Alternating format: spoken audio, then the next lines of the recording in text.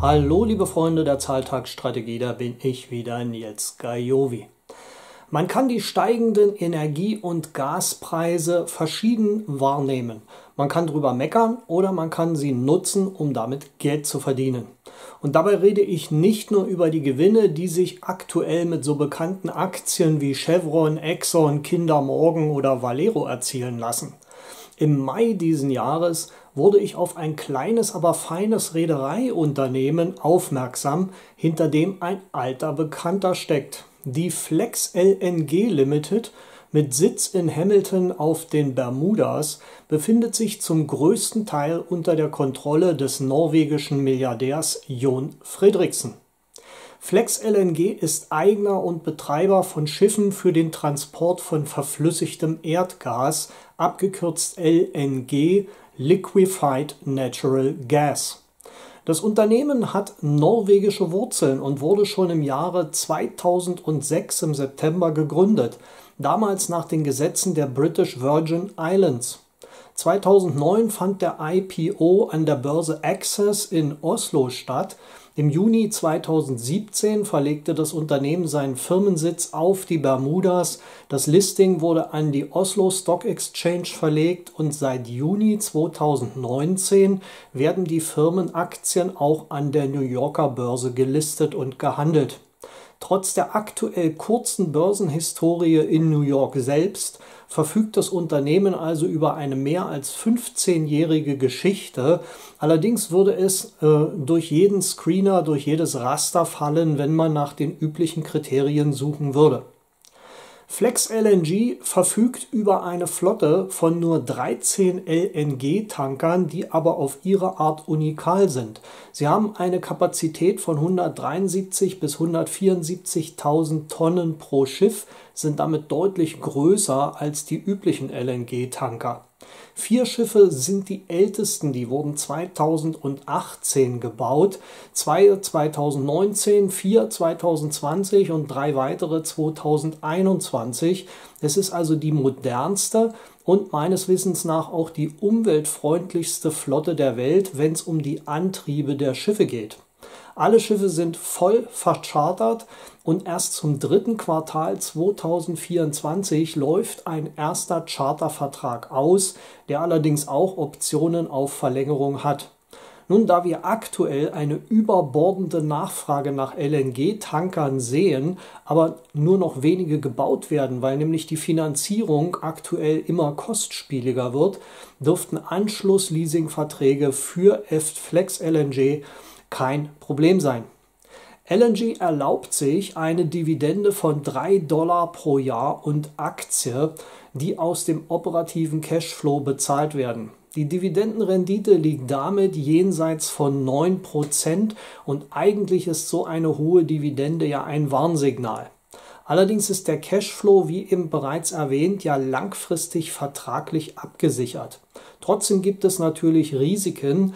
Die Schifffahrt ist eben ein zyklischer Bereich.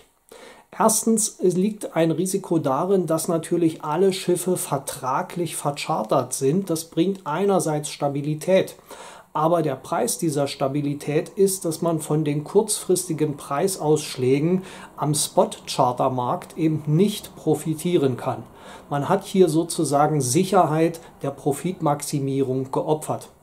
Ein zweites Risiko, strenge Umweltauflagen, die könnten natürlich den LNG-Transport weiter verteuern. Havarien können zu katastrophalen Folgen für Umwelt und die Firma selbst führen. Drittens hat das Unternehmen eine bemerkenswerte Verschuldung, nämlich zum 31.12.2021 1,63 Milliarden Dollar an langfristigen Verbindlichkeiten. Und für diese Verbindlichkeiten dienen die Schiffe als äh, Sicherheit für die Kreditlinien.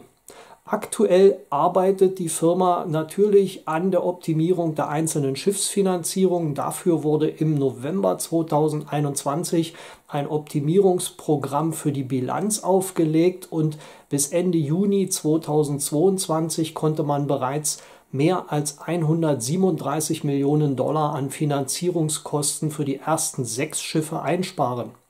Für die nächsten sieben Schiffe ist äh, der zweite Teil des Programms geplant. Da werden noch einmal weitere 100 Millionen Dollar an Cash freigesetzt. Ein viertes Risiko ist das Konzentrationsrisiko. Zum 31.12.2021 gab es insgesamt 15 Kunden des Unternehmens und die größten vier waren verantwortlich für 20,8, 16,6, 15,3 und 13,4 Prozent der Umsatzerlöse des Unternehmens. Insgesamt machen also die großen vier zwei Drittel aller Einnahmen aus, kein weiterer Kunde ist dann für mehr als 10% des Umsatzes verantwortlich. Ein fünftes nicht zu vernachlässigendes Risiko ist das Gesellschafterrisiko. Zum 15. März 2022 hielt Giveran, eine auf Zypern basierte Firma, die 46,4% der umlaufenden Aktien hält und die von Jon Friedrichsen, eben dem Milliardär und Reeder mit Wurzeln in Norwegen, über zwei Trusts zum Wohle seiner Familie gehalten werden. Diese Familieninteressen könnten in Zukunft mit den Interessen der restlichen Aktionäre kollidieren, zumal Friedrichsen indirekt eben auch an Wettbewerbern von FLNG beteiligt ist, etwa an der Frontline Limited oder an SFL. Ein sechstes Risiko, da die großen institutionellen Anleger zum großen Teil bei FLNG nicht investieren können, die Firma ist sehr klein, ist die Aktie eben nichts für schwache Nerven. Der Kurs kann täglich um zweistellige Prozentbeträge schwanken und das muss man aushalten können. Es gibt eben nur 54 Millionen Aktien, davon hat Fredriksen knapp 25 Millionen, weitere 970.000 Aktien hält die Firma selbst. Der Free Float liegt also bei weniger als 29 Millionen Stücken und das kann schon mal zu heftigen Kursschwankungen führen. Die Frage ist natürlich, entschädigen die Risiken jetzt äh, die Wachstumsaussichten für die Risiken, die man hier eingeht? Das muss wie immer jeder selbst entscheiden. Ich habe die ersten zwei Tranchen im Mai und im Juni gekauft und äh, ich bin der Meinung, dass die Chancen, die Risiken deutlich überwiegen.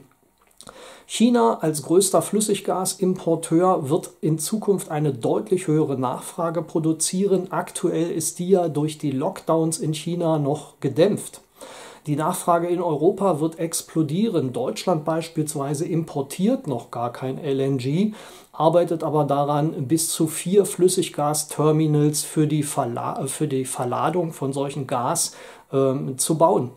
LNG wird inzwischen auch auf See gebunkert für schlechte Zeiten, wobei eben die Tanker dann als Lagerstätten benutzt werden. Bis 2030 geht man davon aus, dass Flüssiggas zum wichtigsten Energieträger für die Energieerzeugung aus fossiler Energie als sogenannte Brückentechnologie äh, werden wird. Alles in allem wird für das Unternehmen ein Wachstum beim Cashflow von knapp 6% erwartet. Das scheint erstmal sehr konservativ geschätzt. Es ergibt aber für die Aktie ein Renditepotenzial von über 27% per annum bis Ende 2024. Ich empfehle auf jeden Fall eine eigene Analyse der Firma zu machen, die Firma genau unter die Lupe zu nehmen. Äh, die Kommunikation ist in dem Unternehmen sehr aktionärsfreundlich. Es gibt sogar von Flex LNG einen eigenen YouTube-Kanal.